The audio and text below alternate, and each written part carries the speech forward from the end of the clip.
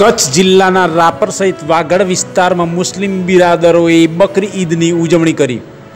મુસ્લિમ બિરાદરો માટે પવિત્ર બકરી ઈદ નિમિત્તે વાગડ વિસ્તારના રાપર તાલુકામાં ઉમંગભેર ઉજવણી કરવામાં આવી હતી વહેલી સવારથી જ આથમણા નાકા પાસે આવેલ જામા મસ્જિદથી મુસ્લિમ સમાજના આગેવાનો ભાઈઓ આંડવાળા તળાવ પાસે આવેલા ઈદગાહ ખાતે મૌલાના અહમદ નૂરી અને સૈયદ અનવર શાહ બાપુની આગેવાની હેઠળ નમાજ અદા કરવામાં આવી હતી નમાજ અદા કરી હતી અને એકબીજાને ઈદની શુભેચ્છાઓ પાઠવી હતી. આજે બકરીદ નિમિત્તે રાપર મુસ્લિમ સમાજના આગેવાનો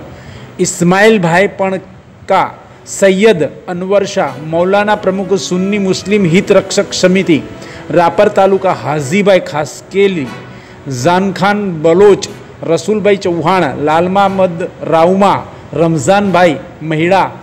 રમઝુભાઈ કુંભાર, કુતુબ શાહ શેખ વગેરે ઉપસ્થિત રહ્યા હતા. બકરી ઈદની ઉજવણી રાપર આડેસર નીલપર ચિત્રોડ માણબા વિજાપુર ફતેહગઢ સહિતના ગામોમાં ઉમંગભેર મુસ્લિમ બિરાદરોએ ઉજવણી કરી હતી Rapar police inspector V K Gadhvi PSI G B Majirana PSI G G Jadeja સહિત અધિકારીઓએ ચુસ્તપણે પોલીસનો બંદોબસ્ત પણ ગોઠવી દીધો હતો કાયદો અને વ્યવસ્થા જળવાઈ રહે તે માટે ભાઈચારા સાથે હિન્દુ મુસ્લિમ એકતા